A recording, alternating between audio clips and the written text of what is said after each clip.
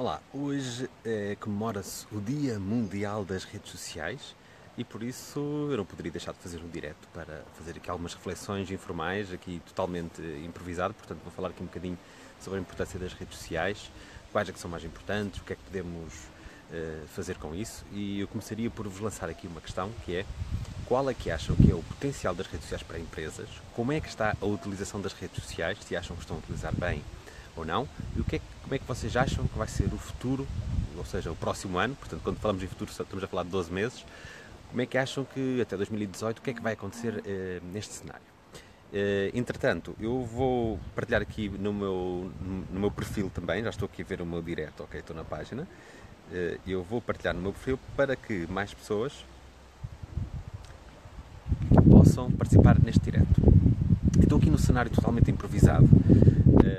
Estou aqui atrás de uma árvore, por isso vocês estão a ver aqui de vez em quando fico mais claro. Portanto, não é o cenário ideal, naturalmente, mas estou a usar um selfie stick, estou a usar aqui um pequeno tripé e estou a usar um router uh, portátil. Até vos vou mostrar o router que estou a utilizar, este é um router portátil, uh, que me permite melhor captação do que o smartphone. E aliás, já agora é de outra operadora diferente do smartphone, de propósito para eu poder ter várias possibilidades de captação de sinal. Portanto, é aqui um, um setup interessante. Portanto, tenho um selfie stick, um mini tripé e um router. E ando aqui na minha bolsa, portanto, parei aqui, encontrei aqui um, um bom sítio. Não é perfeito, tem algum vento e estou aqui atrás, de, escondido de mar, portanto, uh, uh, o cenário não é melhor. Mas tem, temos aqui esta vista, temos aqui a Lagoa de Montargil e aqui temos uma piscina infinita que, que, que tem visão mesmo para, para a Lagoa, e, portanto, é um sítio lindíssimo e está aqui tranquilo.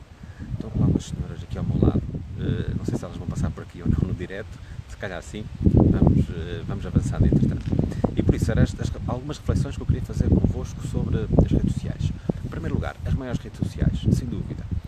Uh, enfim, pelo menos na maioria dos países, não todos, mas na maioria dos países, o Facebook é a rede social número 1. Tem 2 mil milhões de utilizadores.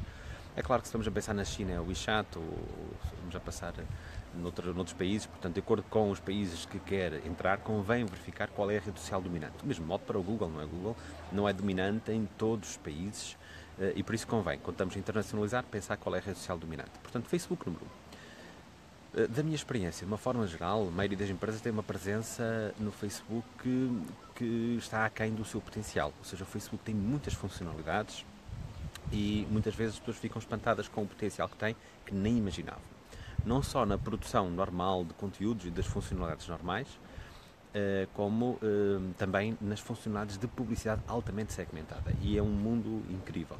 E depois, para além disso, está sempre a alterar. Portanto, quase todos os dias existem eh, alterações no Facebook.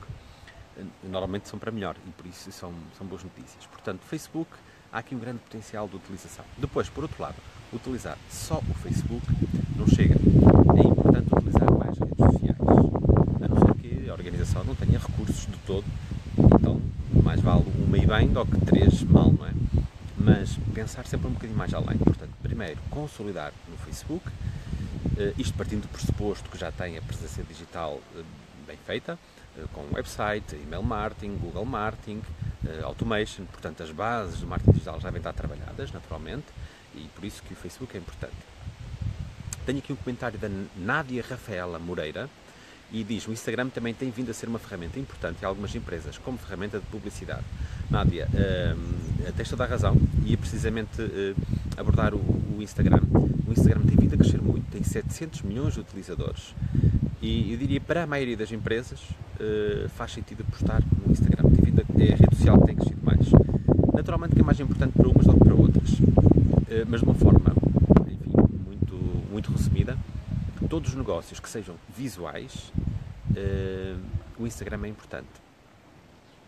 Naturalmente que o escritório de advogados ou de contabilistas também o pode utilizar no Instagram com uma criatividade, mas já não é a rede social tão ajustada como é, por exemplo, uh, por exemplo, imaginem para a área de moda, para a área, para a área de formação, mesmo para a área da formação, que é uma área mais, mais profissional, pode ser utilizada.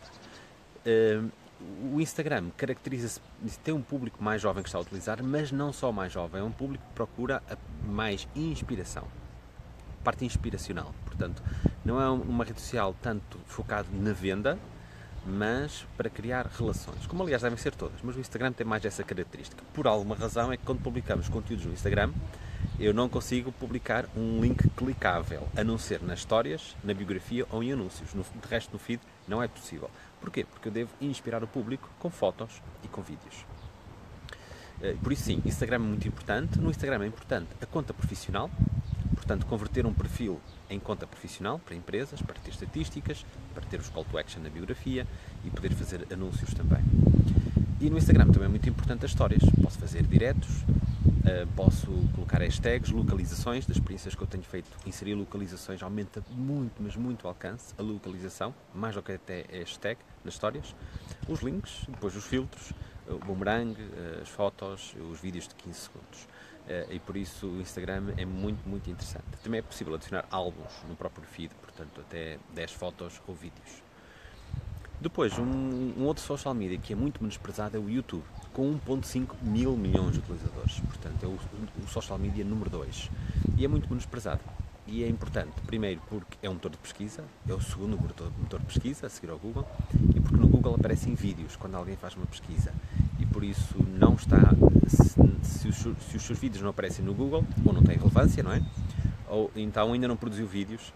Uh, ajustados à palavra-chave que está a ser utilizada. Uh, e por isso está aí um grande potencial.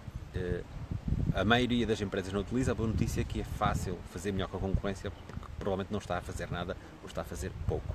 Por isso a minha recomendação é os vídeos que produz para o Facebook ou para outros meios, pode reutilizar aqueles que fazem sentido para o YouTube. Ou pode produzir vídeos mesmo para o YouTube, é, é uma excelente ideia. Já o faço há vários anos uh, e tem tido resultados muito, muito interessantes. E naturalmente que o vídeo no Facebook também é importante e deve publicá-lo nativamente. Ainda continua a haver esse erro, que é eu pegar no link do YouTube e partilhá-lo no Facebook. Vai ter muito, mas muito menos alcance, 10 vezes menos alcance, ou até menos. E por isso deve pegar no vídeo que produziu, no fecheiro, no MP4, e carregá-lo diretamente no Facebook. A não serem algum, algumas exceções, mas por norma deve fazer dessa forma. E a maioria das pessoas ainda não o faz. Uh, do mesmo modo que esse fecheiro de vídeo vai depois também publicá-lo no Instagram até 60 segundos ou vai publicá-lo no, no, Twitter até 140 segundos. Se tiver mais que 140 segundos no Twitter, deve partilhar o link do YouTube. No LinkedIn, deve partilhar o link do YouTube. Por isso, se a plataforma tem forma nativa de carregar um fecheiro, deve-o carregar lá, seja uma imagem, seja um vídeo ou seja qualquer outro recurso. E por isso, Facebook, Instagram e YouTube são as três mais importantes estou a generalizar, naturalmente, depois de acordo com as atividades.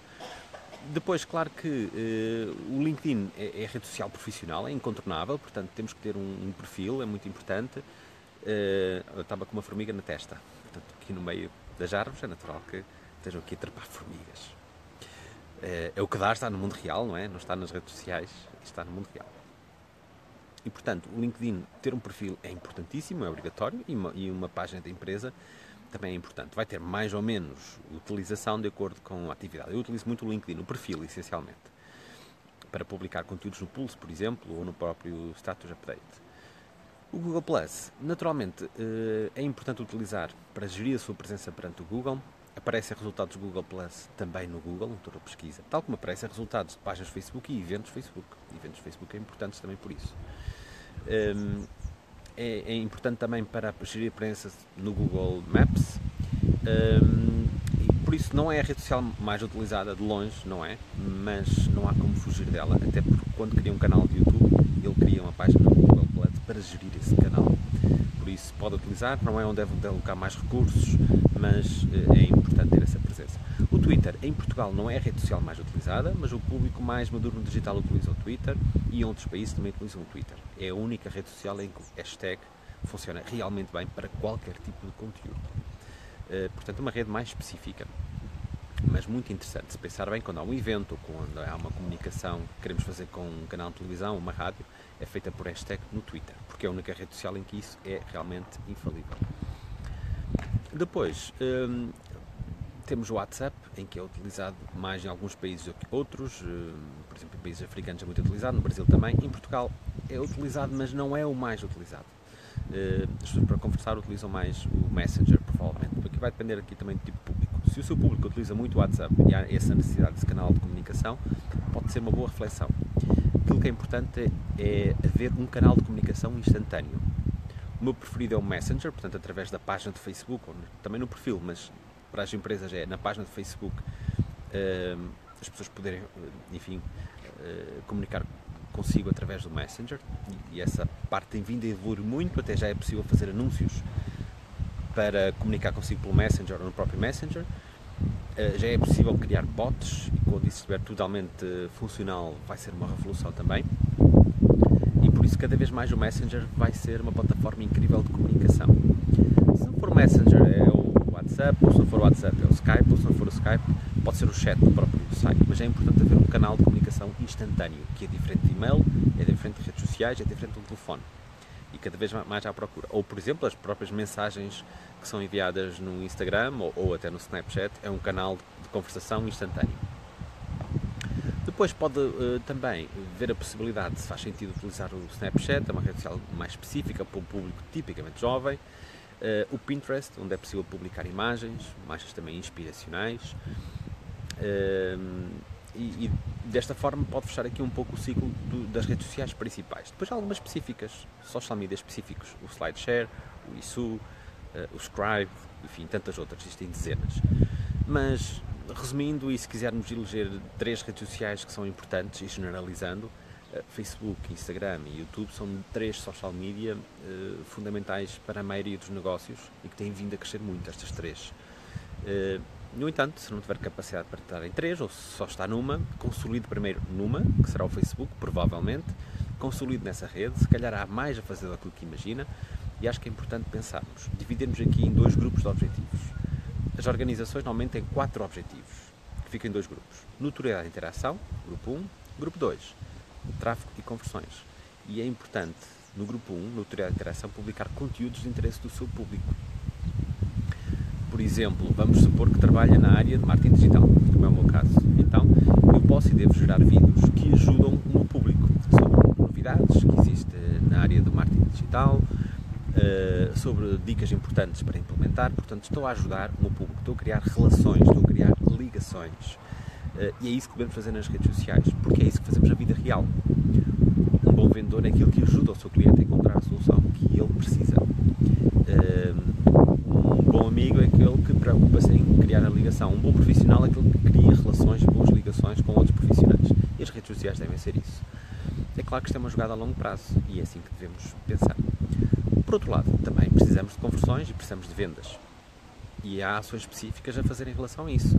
A primeira ação de conteúdos ajuda muito nisso, portanto, eu se tiver mais notoriedade e interação nessa notoriedade, será mais fácil depois, quando eu for vender um produto, as pessoas o comprarem porque já existe uma, confiança, uma confiança uh, estabelecida uh, e já, já existe uh, aqui um papel de servir o meu público.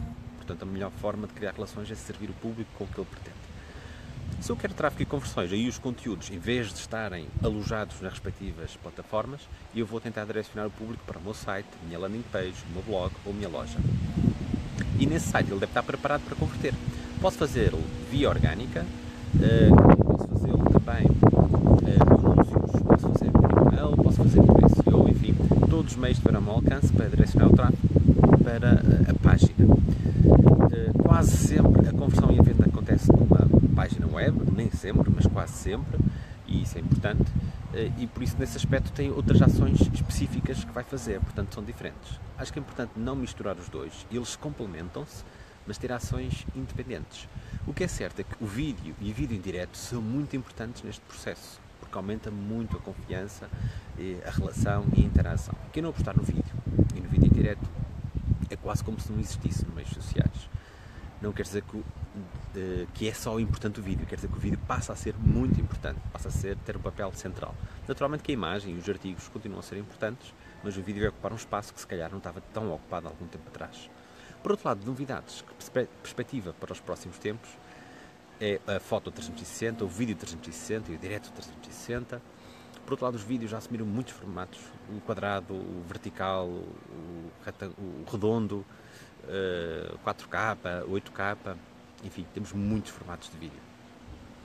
Eh, e a realidade virtual, que é incrível, ela tive a possibilidade de experimentar com os novos óculos da Samsung, em que se pode mergulhar no novo Facebook, Facebook 360, e provavelmente em breve no novo Facebook que é o, o Facebook uh, Spaces, que consiste em fazer, em participar numa uh, realidade uh, virtual dentro do Facebook. Por isso isso tem um, um grande potencial de utilização para interagir com o público. Por outro lado, o social selling é, é importante porque é um, um, ponto de ligação, nós podemos fazer a venda diretamente através das redes sociais sem ter que para o próprio local. E o vídeo, certamente, daqui por um ano vamos estar a falar muito em vídeo, muito em direto, que é importante e que as empresas ainda não estão a utilizar. Por isso, é fundamental que avance já para o vídeo o vídeo em direto, analisar se a realidade virtual e se os conteúdos 360 eh, fazem sentido para o seu negócio, não tem que utilizar obrigatoriamente, mas em alguns casos fazem muito sentido. E reforçar a presença no Facebook e outras redes sociais. Eh, desta forma termino aqui estas reflexões informais sobre as redes sociais, neste Dia Mundial das Redes Sociais. Eu gostaria de saber a vossa opinião do que é que vocês acham, como estão as empresas nas redes sociais, qual é o potencial do Facebook e de quais são as redes sociais mais importantes para vocês e o que é que vocês pensam que vai acontecer nos próximos 12 meses uh, no mundo das redes sociais. Até breve.